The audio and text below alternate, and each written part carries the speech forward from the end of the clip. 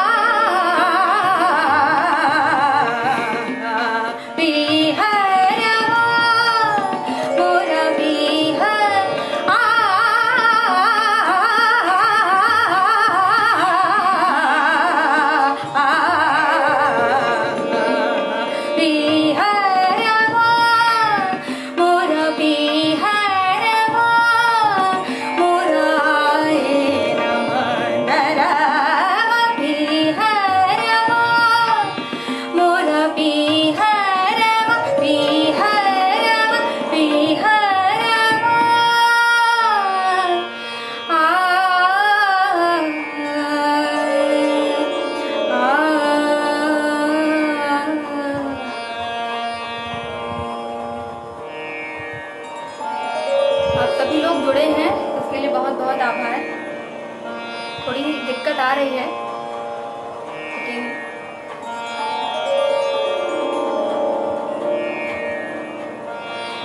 अब इसके बाद मैं एक दादरा, भैरवी मैं आपके सामने